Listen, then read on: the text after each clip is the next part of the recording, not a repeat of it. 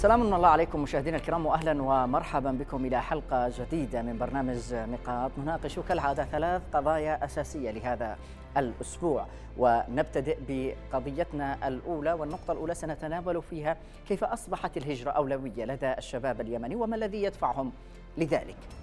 أما في النقطة الثانية سنناقش سياسة ميليشيا الحوثي في التجريف الوظيفي في المؤسسات الجامعية وفي النقطة الثالثة سنعرج على محافظة حجة وما تعانيه من تدهور معيشي وانفلات أمني في ظل سيطرة ميليشيا الحوثي الانقلابية.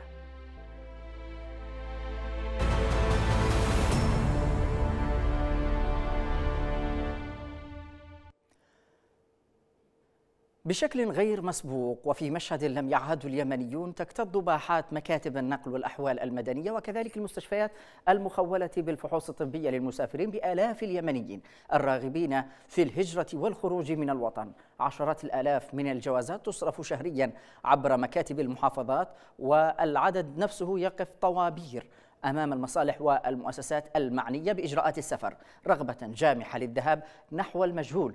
خروج أشبه بالمغامرة نظرا لغموض المستقبل لكنه عند البعض خروج أشبه بالولادة من جديد.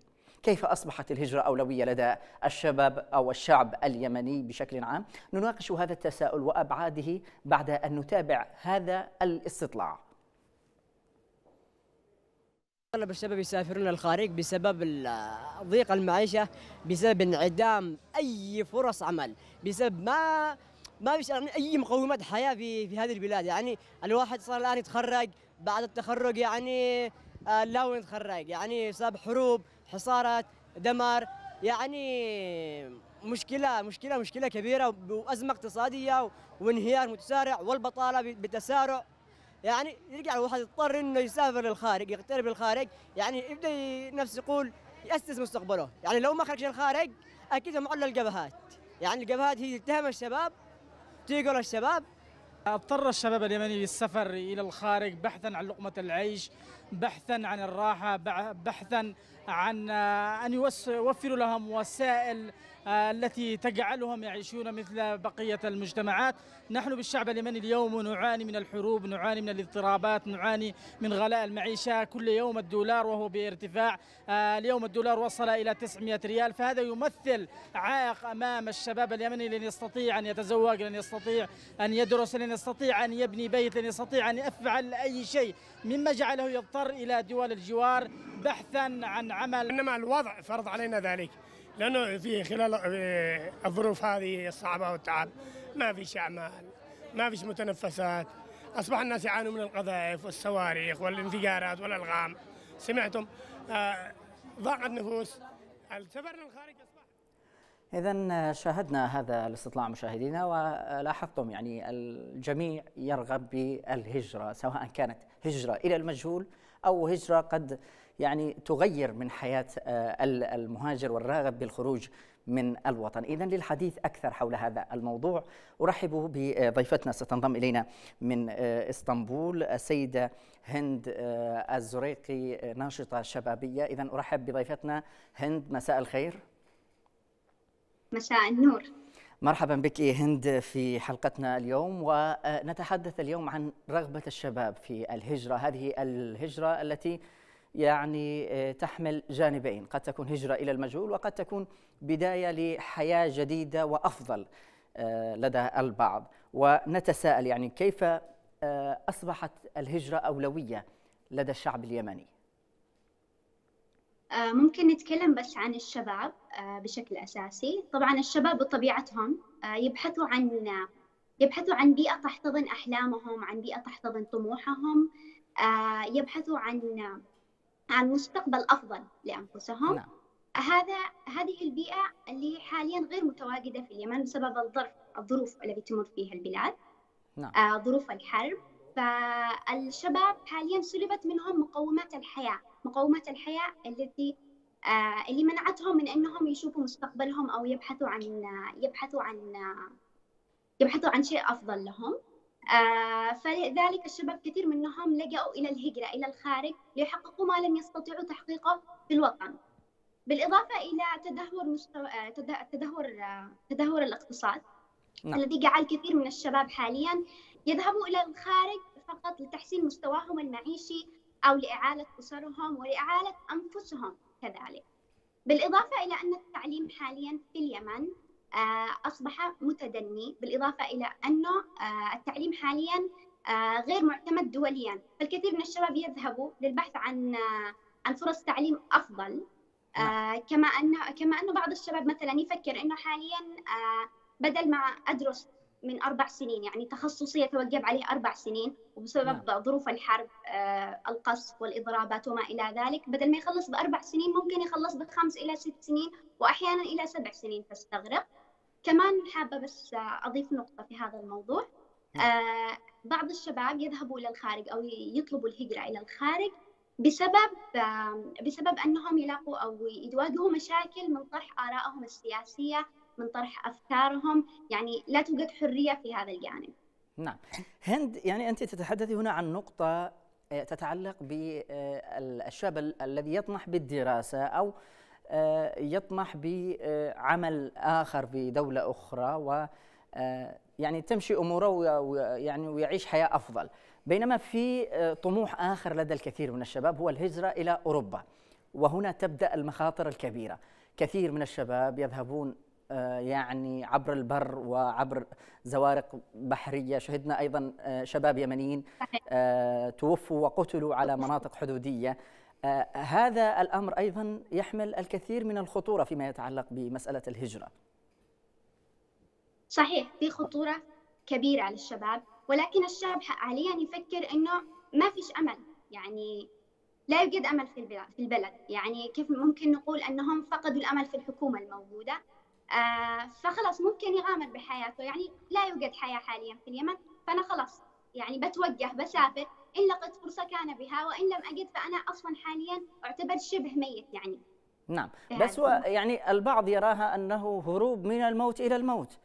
يعني بالذات في مسألة الخروج والرغبة بالوصول إلى دول أوروبية. يعني وهنا آه، الكثير من الشباب يراودهم هذا الحلم أن يصل إلى أوروبا ويبدأ حياة جديدة هناك. ولكن آه، كما تعرفين صعوبة في قرار الدخول إلى آه، أوروبا بالطرق الرسمية فيلجؤون إلى التهريب وهنا الكارثة الهروب من الموت إلى الموت قد تكون هنالك فرصة تعيش حياة كريمة. يعني للأسف أن إحنا نقول هذا الكلام ولكن الشباب حاليا يبحثوا يعني يتكلموا في هذه الطريقة أنه ممكن حاليا وضعي في اليمن يعني بائس الوضع مؤسف جدا. فإذا سافرت قد ممكن ان أنا أجد فرصة لمعيشة حياة أفضل. عوضا نعم. عن اللي أنا عايش فيها. كم نسبة هذه الفرصة برأيك يعني؟ إذا كان آه، الواقع يعني حتى وإن خرجوا إلى دول الجوار كالسعودية ومصر يعني يعانون بشكل كبير في مسألة الوظائف في مسألة آه، الدراسة في أمور كثيرة. فما بالك بالشخص الذي يطمح إلى الوصول إلى أوروبا؟ يعني ما هي الفرصة التي آه، تنتظره؟ يعني ما هي نسبة أن يحوز على فرصة أفضل يعني في الخروج؟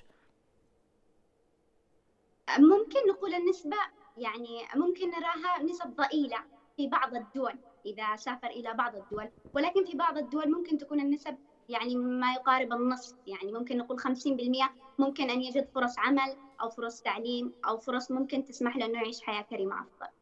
نعم.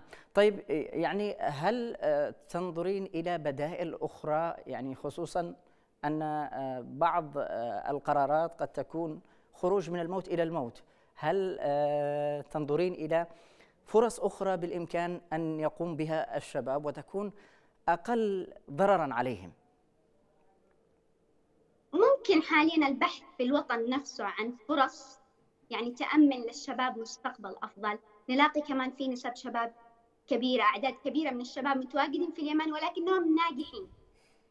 بس هذه هذه الفرص يعني ما تقدر تقيسها على الكل.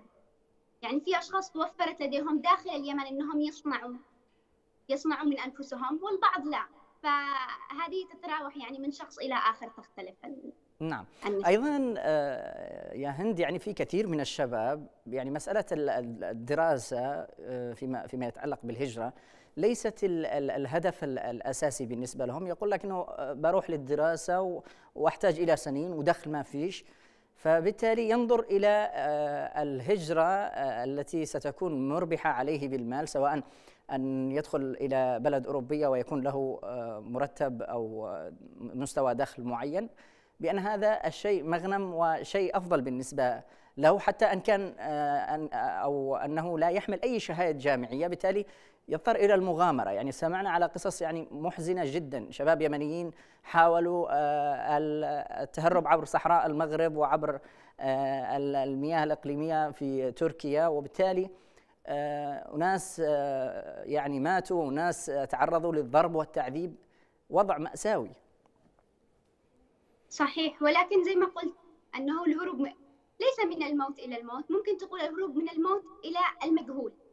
نعم. ممكن نقول إنه هروب إلى طيب ليش ما يكونش يعني البديل هو البحث عن فرص دراسة مثلا؟ أوضح سؤالك لو سمحت. يعني آه، أقصد إنه ليش ما يكونش البديل البحث عن فرص للدراسة بدلا عن آه، أن يهرع الجميع وراء آه، فقط أنه يحصل على دخل مستقر ويعرض نفسه للخطر والتهلكة. تمام. آه شوف في البعض أو عدد كبير يذهبوا اولا ممكن تكون الوجهة الأولى لهم هي الدراسة أو التعليم بشكل نعم. أساسي نعم.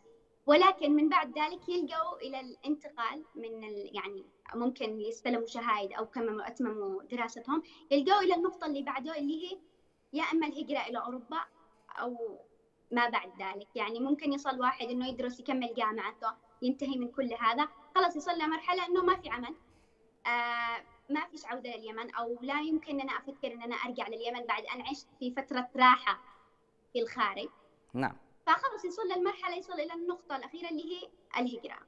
نعم. كثير طيب. يعني ممكن نشوف حالات كثيرة بهذا طيب بهذا هند يعني بنستغل وجودك معنا ب آه، يعني آه، نترك لك مجال بسيط فقط لتقديم نصيحة للشباب فيما يتعلق بمسألة الهجرة والمغامرة التي يهرع إليها البعض. أنا أتمنى أتمنى من الكل أولا أنهم أتمنى من الجميع أنهم يشتغلوا على أنفسهم أو ما يلجأوا إلى الهجرة. يعني إذا في فرص عندهم في الوطن أولا في اليمن لا يلجأوا إلى الهجرة إلا بعد أن يشتغلوا على أنفسهم بعد أن يبحثوا عن فرص مهما كانت الفرص شبه معدومة. نعم. بالأخير آه، مثل ما نقول إنه يعني إحنا إحنا اللي شايلين هم الوطن. ما فيش حد حيشيل هم الوطن غيرنا. فبلادي وإن جارت علي عزيزة.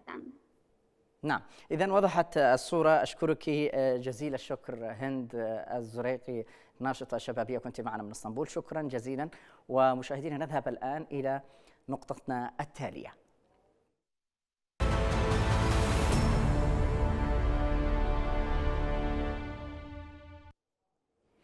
منذ الأول أو اليوم الأول للانقلاب على الدولة وضعت ميليشيا الحوثي عينها على المؤسسات التعليمية وفي مقدمتها الجامعات بإشراف أو باشرت عفوا بتجريف الوظيفة لمصلحتها بإقصاء أساتذة الجامعة الرافضين للانقلاب وفرضت رؤساء وعمداء ومشرفيها. وقامت فيما بعد باستبدالهم بآخرين على أساس مناطقي وسلالي يخدم أجنداتها الانقلابية. لماذا قامت الميليشيا بذلك؟ وما أبعاد ونتائج ذلك على المستوى الأكاديمي والتعليمي والمعيشي للمتضررين؟ نناقش ذلك مع ضيفنا ولكن بعد أن نشاهد هذا التقرير الذي أعده الزميل وديع عطا نشاهد. أتت تداعيات الانقلاب الحوثي على كل شيء في اليمن تقريبا؟ كانت مؤسسات الدولة هي أول ما استهدفوه وكان الأكاديميون في طليعة المستهدفين. لأنهم نخبة الوطن وعقله الذي يفترض أن يمثل ذروة المقاومة والممانعة ضد انتشار وتغلغل ميليشيا الحوثي في المؤسسات الأكاديمية. كانت الجامعات أول ما بدأوا بها تجريفهم فعينوا لها رؤساء منهم وفرضوا عمداء من مشرفيهم ومن ثم حرموا مئات المعيدين من استحقاقاتهم في التعيين والابتعاث واستبدلوهم بآخرين من أتباعهم. تنوعت أساليب الميليشيا في استهداف الجامعات بين الاستهداف المباشر وغير المباشر كالاقتحام وإغلاق أقسام وإلغاء أخرى. ولكوادرها بالإقصاء والاعتقال والمصادرة والابتزاز والتهجير فضلا عن الاختطاف بل والتصفية الجسدية بطرق مختلفة. تجاوز عدد أساتذة الجامعة الذين تم إقصاؤهم وجرى ويجري استبدالهم قرابة ألف أستاذ ومعيد وموظف وهي أكبر عملية إقصاء تستهدف أكاديميين بشكل غير مسبوق في تاريخ العمل الجامعي اليمني.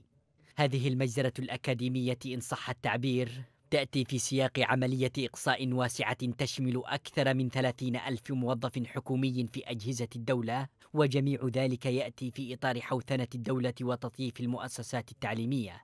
اللافت أنه وفي ظل حرمان الكادر الوظيفي من رواتبهم منذ سنوات وإعلان الحوثيين توقيف نصف الراتب الذين كانوا قد التزموا بتوفيره للموظفين في مناطق سيطرتهم أعلنوا مؤخرا عن وظائف شاغرة بجامعة صنعاء في وقت ينتظر الجميع عودة الرواتب أو صرف بعضها للمعيدين الذين هم أولى بالتعيين والاستحقاقات. إذا شاهدنا تقرير مشاهدينا ونذهب الآن للترحيب بضيفنا الدكتور آه، فيصل. آه، إذا آه، هو أستاذ مساعد في أستاذ العلوم السياسية في جامعة الحديدة. إذا أرحب بالدكتور. دكتور فيصل مساء الخير.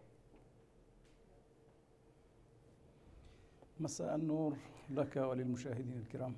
أهلا بك دكتور فيصل الحذيفي ويعني اليوم دكتور يعني بعد ست سنوات من الانقلاب يعني ما هو الحال الذي يعيشه أساتذة الجامعات خصوصا ضحايا هذا التجريف؟ وأنت أحد هؤلاء الأساتذة الذين طالهم أثر الانقلاب.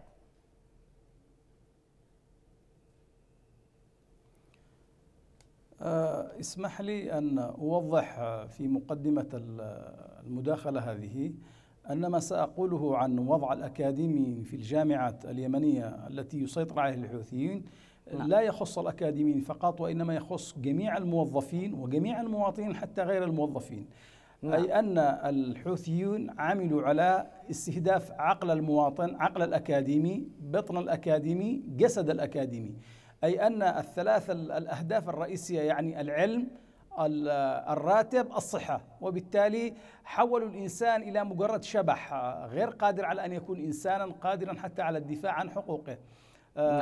استهدفوا قلنا العقل من خلال ال ال ال الاستيلاء على مؤسسات التعليم العليا كالجامعات حيث نعم. نصبوا في جميع مفاصلها رئاسة الجامعة ونواب رئاسة الجامعة وعمداء الجامعات ورؤساء الأقسام كلها من منطقة من من سلالة واحدة إما إما حوثيين هاشمين أو متحوثين. وبالتالي آه، حرم البقية البقية من آه، شغل المناصب القيادية وكذلك من الترقيات وكأنها عقوبة تطال آه، هذا العقل اليمني الذي هو منوط به السعي برفع وعي المجتمع وتنويره الشيء الثاني عندما آه، تم إلغاء الرواتب بشكل كبير يعني استهدفوا بطن الإنسان بحيث آه، حتى طاله الجوع الفقر الموت وهدر الكرامة يعني نعم. اليوم يعاني الموظف اليمني الشعب اليمني آه، بهذا الاستهداف بشكل مريع ولا أحد يلتفت إلى مخاطر هذا الاستهداف. الاستهداف الثالث وهي جسد الإنسان، أصبح الإنسان وكأنه يعيش داخل سجن وليس داخل دولة أو وطن آه، نعم. لأن الجوع وعدم الإيرادات وعدم القدرة على الوفاء بالالتزامات وعدم القدرة حتى على شراء العلاج لمن يريد لمن لديه مرض وبالتالي اذا ثلاث وظائف أساسية تم استهداف الإنسان اليمني آه، والمواطن اليمني والأكاديمي هو نموذج فقط من هذه النماذج التي آه، يصلح تعميمها على بقية عامة الناس. آه، نعم. هناك مآسي للحقيقة. هناك لا نستطيع بمثل هذا البرنامج أن نسرد بشاعتها. نعم لكن يا دكتور البعض من من زالوا يعملون مع الميليشيا كدكاترة و طواقم الطواقم الإدارية في الجامعات يرى أن ما وصل إليه الحال في الضرر الذي لحق بالأكاديميين هو آه، في في مسألة المرتب ولقمة العيش الضرورة من آه، آه، أوصلت الحال إلى هذا الوضع. بالتالي يعني أنت كيف تنظر إلى الأمر؟ هل هو عمل ممنهج أم أن يعني الواقع هو من صنع هذه اللحظة؟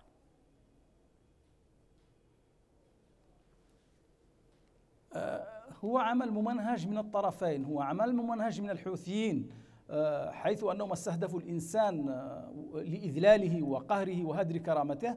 وهو عمل ممنهج بغباء من الشرعية التي أعلنت سحب البنك المركزي من من صنعاء إلى عدن وبالتالي تخلت عن التزاماتها آه، أمام مواطنيها من صرف رواتبهم. وبالتالي اليوم السلطة الشرعية يعترف بها الناس في وجدانهم حتى في مناطق الحوثي لأنهم لا يعترفون بالحوثي كسلطة شرعية وإن فرضوا أنفسهم كسلطة أمر واقع. وبالتالي هناك الحقيقة استهداف للمواطن اليمني والموظف الأكاديمي في الجامعات وفي, وفي الوظيفة العامة أنه استهدف من الطرفين.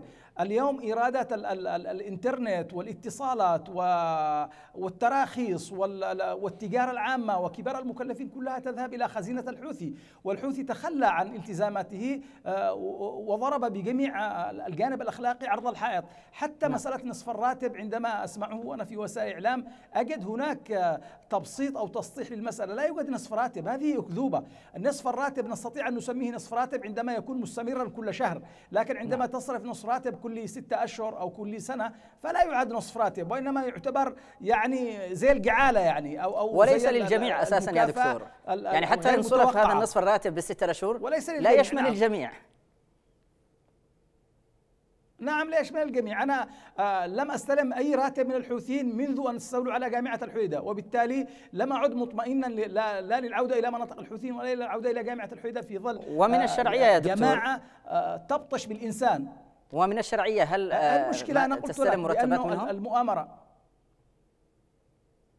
نعم نعم النازحون قلة من النازحين آه، عندما عاملوا ملفاتهم بشكل مبكر استطاعوا الحصول على مثل هذه المرتبات. ولكن حتى في في في ظل الشرعية اليوم تتحدث عن مرتب كان آه، مقداره 1200 دولار للأستاذ الجامعي. اليوم أصبح لا يزيد على 250 دولار وبالتالي أصبح صرف المرتب وعدمه سواء. ولكن على الأقل آه، أن يوجد مرتب مهما كان ضئيلا خير من أن لا يوجد. ولكن أيضا الشرعية كما قلت بأنها لم تكن ظهيرا يعني حقوقيا ولا سياسيا ولا دستوريا لهؤلاء الناس الذين واجهوا هذه هذا البطش من الحوثيين. اليوم نعم. عندما صمت الناس واستمرأوا الذل والعبودية إنما لأنهم وجدوا بأن السلطة الشرعية كانت أفشل مما مما هو عليه الحوثيين. وبالتالي أن تغامر بالارتحال من مناطق الحوثية إلى مناطق الشرعية فهو الانتقال من سوء إلى أسوأ لا أقل ولا أكثر أو من سوء إلى سوء في في في أفضل الحالات. نعم. لكن يا دكتور أيضا آه، إذا قلنا أن المسألة المادية هي من فرضت ذلك وأن الجميع من دكاترة الجامعة لا يستلمون مرتباتهم في صنعاء بسبب تحجج الميليشيا بالوضع آه، المالي لدى آه، حكومتهم كما يسمونها. لكن في مسألة طرد دكاترة يعني هناك قصص كثيرة بأن دكاترة يعني ربوا أجيال وكان هناك سكن جامعي هؤلاء الدكاترة يقيمون فيه منذ أكثر من عشرين عام. يأتي اليوم إشعار بخروجهم من آه، السكنات الجامعية كيف يفهم هذا الأمر؟ الحقيقة التركيز على مثل هذه النقاط الهامشية لم تعد ذا قيمة مقابل أن. الكادر اليمني الأكاديمي مستمر بدون رواتب من 2016 يعني الآن نحن سندخل السنة الخامسة والسادسة بدون رواتب. يعني في نهاية الأمر يعطيني راتب ولا أريد سكنك لا أريد أي امتياز منك.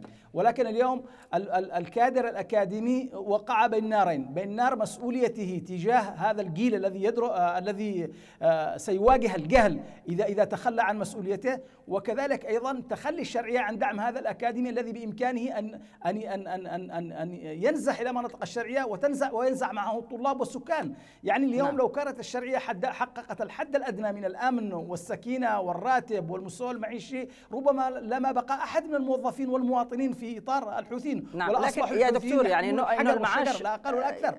عفوا يا دكتور لكن إنه المعاش قد آه، آه، قطعوه فبالتالي إنه يبقى في سكن لدى هذا الدكتور. يعني كثير من الدكاتره ذهبوا لاعمال آه، أخرى منها شاقة ومنها أعمال غير تخصصاتهم. من أجل توفير لقمة العيش لكن كان هناك السكن الذي آه، يفترض أقل حق يحصل عليه هذا الدكتور ولكن آه، يتم إشعارهم بالمغادرة.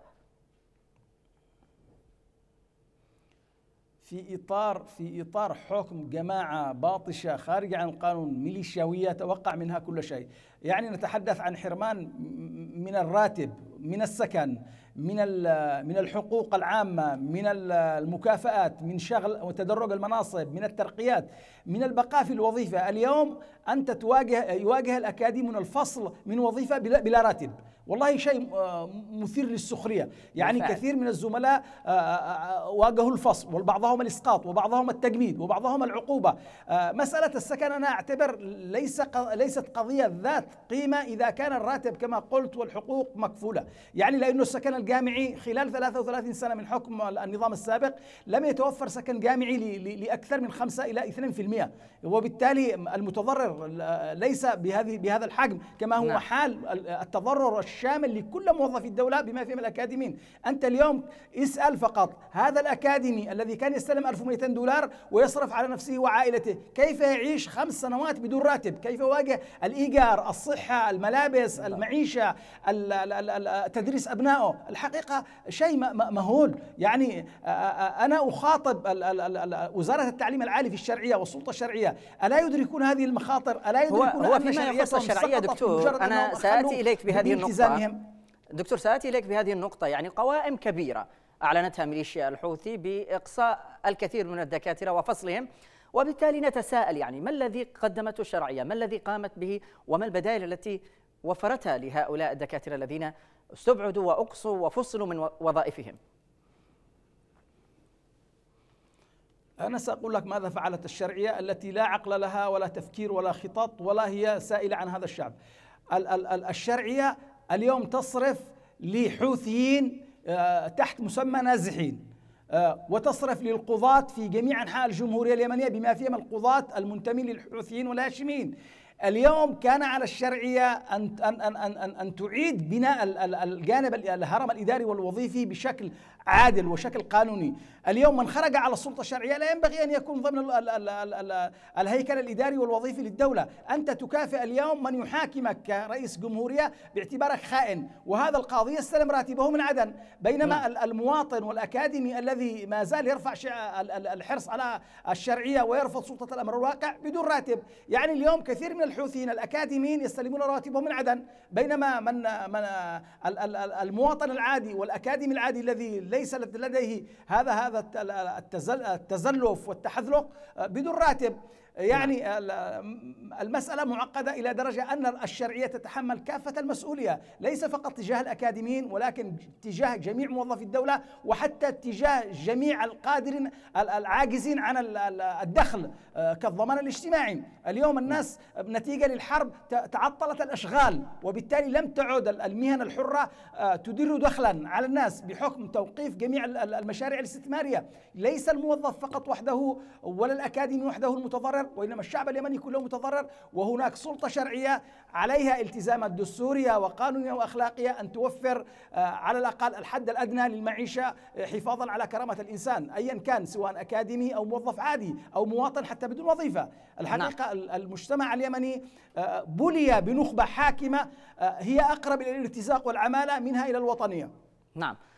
دكتور فيصل هنا نقطة أخيرة. يعني الأكاديميين جميعهم. لماذا لم نجد كيان موحد وصوت موحد للمطالبة وانتزاع الحقوق آه، الواجبة من آه، الدولة الشرعية آه، تجاههم؟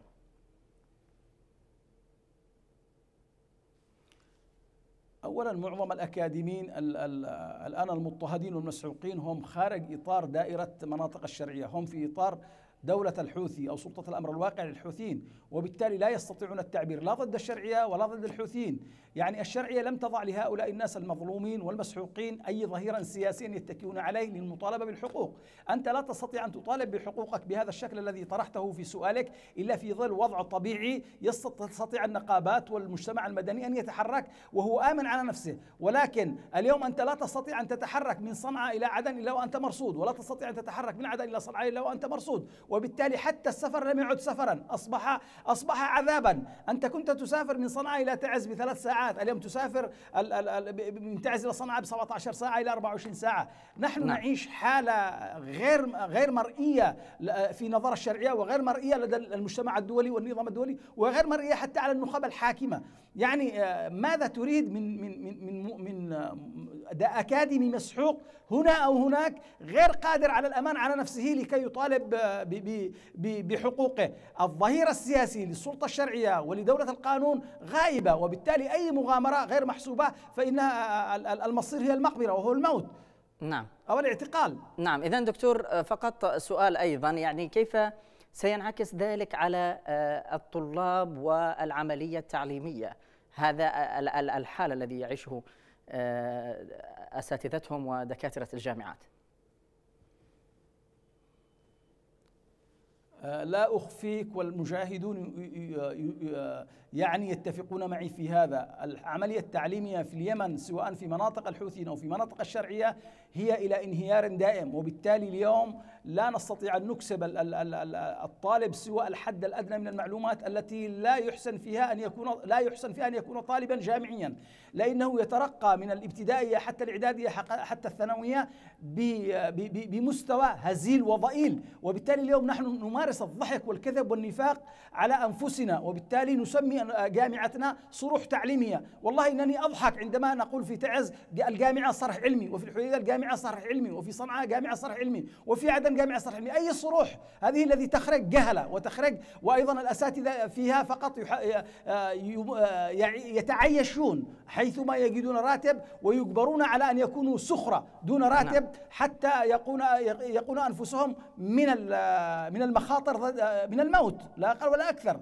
أما أما جميع الانسحاق وهدر الكرامة فهي موجودة وبلا حدود. نعم إذا أشكرك جزيل الشكر الدكتور فيصل الحذيفي أستاذ العلوم السياسية في جامعة الحديدة شكرا جزيلا لك. ومشاهدينا نذهب الآن لنقاش نقطتنا الثالثة.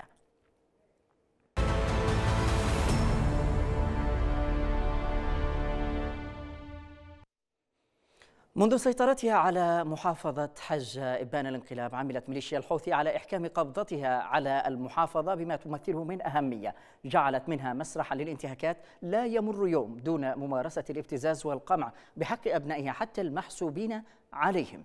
كيف تعاني حجة وكيف أصبحت وأين تقف الشرعية من ذلك؟ نناقش ذلك ولكن بعد أن نتابع هذه المادة المعلوماتية التي أعدها الزملاء ومن ثم نعود.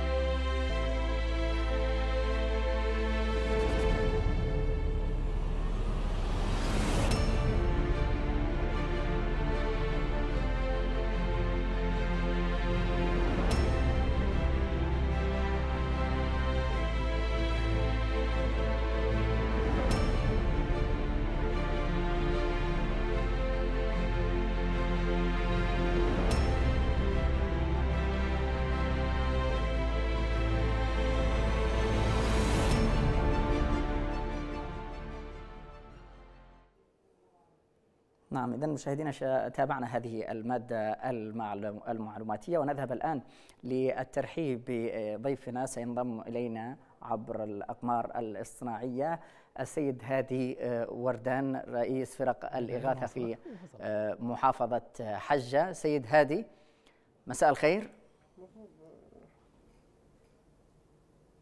قبل دقائق سيد هادي هل تسمعني؟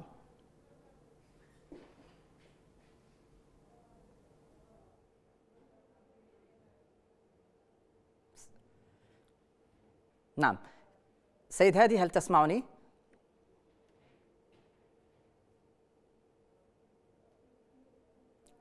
سيد هادي.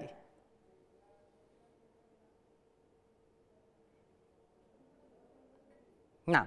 إذا آه، يبدو أن الاتصال آه، ليس ليس جاهزا بعد في السيد هادي. سيتم معاودة التواصل آه، معه لاحقا. ومشاهدينا يعني حديثنا عن محافظة حجة هذه المحافظة التي هي يعني خاضعة حاليا. النصف تحت سيطرة ميليشيا الحوثي والنصف الآخر تحت سيطرة الحكومة الشرعية.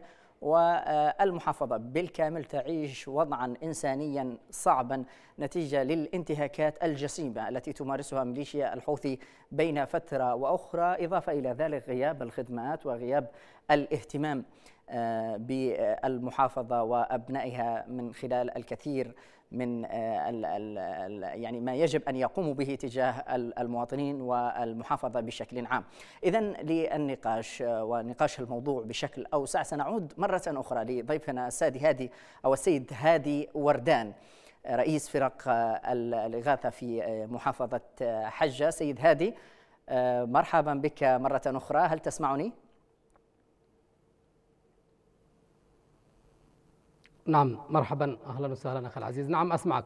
أهلا بك. اذا آه، نتحدث اليوم عن محافظة حجة. هذه المحافظة التي تكاد منسية. يعني لا اهتمام من ميليشيا الحوثي ولا اهتمام من قبل آه، الشرعية. ونتساءل هنا ضعنا في صورة الوضع في آه، هذه المحافظة.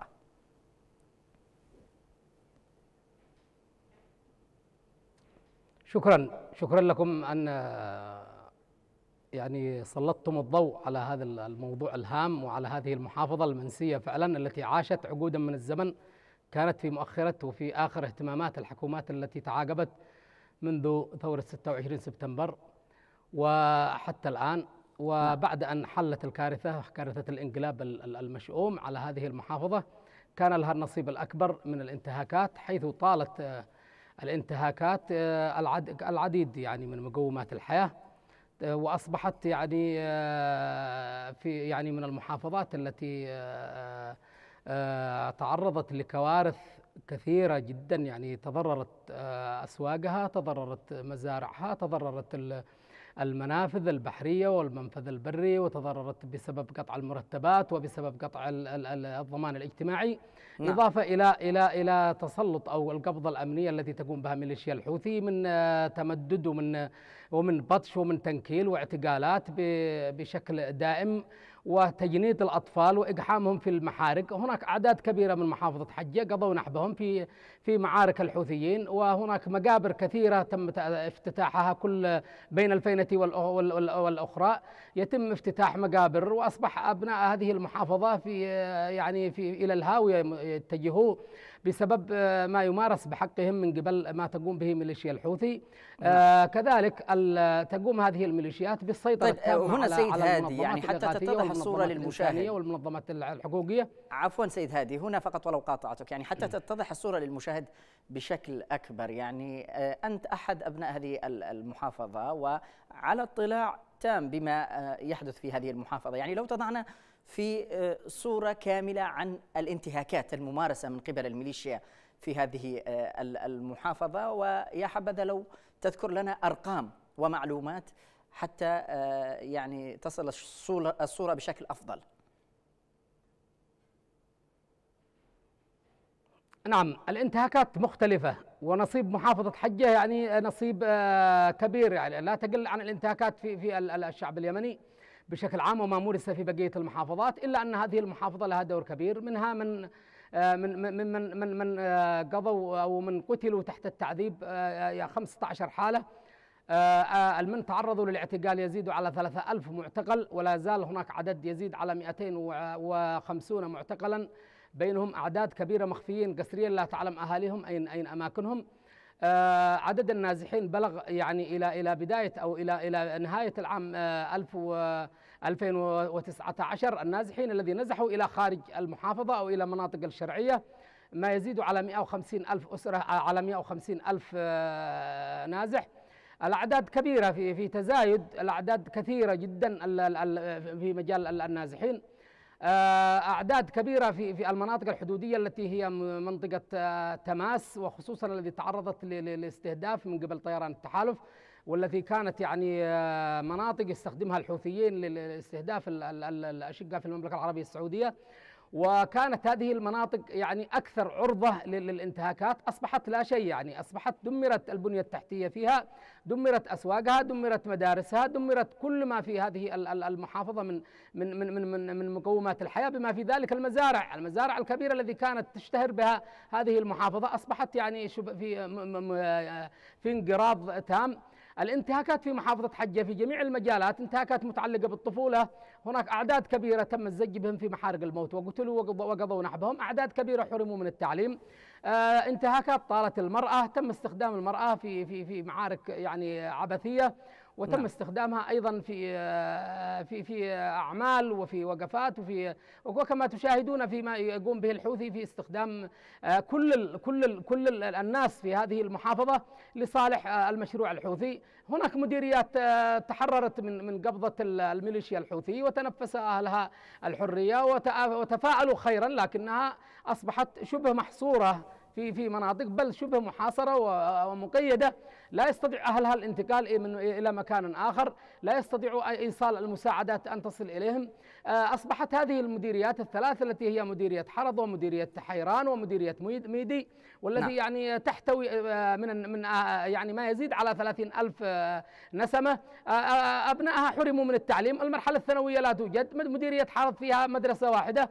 مديرية حرض مديرية حيران التي تكتظ بالسكان والنازحين وكذلك أعداد من من من المنتسبي وحدة الجيش الوطني الذين انتقلوا بأولادهم لكنهم محرومين من التعليم أصبحت نعم. هذه المناطق رغم أنه ما يصلها من مساعدات عن طريق مركز الملك سلمان إلا نعم. أنها يعني لا تنتظر إلا ما ما يأتيها من من تلك المساعدات التي لا تكفي لا تكفي لأن لأن تقوم أو لأن تغطي جميع احتياجاتها من من من المجالات الصحية المجالات الطبية. نعم. حاولت طيب سيد يعني وزارة هادي. الصحة وعبر مدير عام مكتب الصحة إيصال العقاقير وأدوات وبعض أدوات التعقيم أو أدوات التطعيم وجدوا صعوبة. بقت يعني وضعوها في منفذ الوديعة ولم يسمح حتى بإيصالها إلى إلى دخولها إلى تلك المناطق.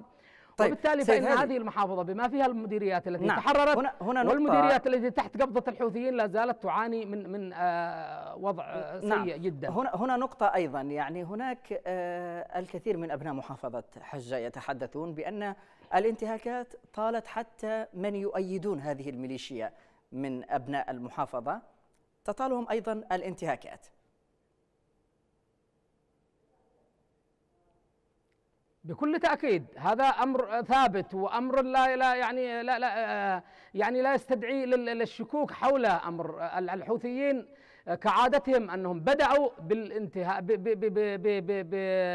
بالنيل وباعتقال وبنهب وبإخفاء أعداد كبيرة ممن رحبوا وممن وممن كان لهم دور كبير في في في تحقيق الانقلاب في في في سبتمبر 2014 هؤلاء الأوائل الذين وخصوصا ممن ينتسبون إلى إلى حزب الرئيس السابق هؤلاء أصبحوا الآن هدف للحوثيين قيادات ومشائخ وضباط وأعضاء برلمانية واعضاء في مجلس النواب وفي السلطة المحلية.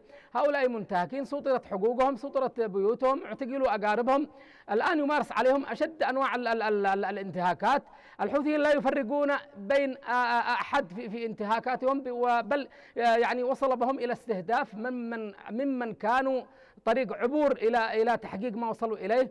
سلموا لهم المحافظة سلموا لهم موانئها ومنافذها. وفي الأخير تحول الحوثيين إلى أن يعني ينالوا منهم ويبطشوا منهم وهناك أعداد كبيرة من المشائخ مخفيين وتم تم اعتقالهم وكذلك آه، من قيادات سياسية وقيادات أمنية وقيادات برلمانية تم مصادره بيوتهم ومنازلهم وهم كان لهم دور كبير في خدمة وتقديم الخدمة لهذه الميليشيات وهذا نعم. ليس بغريب طيب. على هذه الجماعة آه، مثل ما يعني يحصل في بقية محافظات الجمهورية. نعم، طيب سيد هذه هنا نقطة أخيرة فيما يتعلق بالنازحين الذين وصلوا آه، إلى مناطق خاصة بالشرعية وأقيمت آه، لهم مخيمات هناك، يعني نتساءل هنا ما الذي قدمت الشرعية لهؤلاء النازحين؟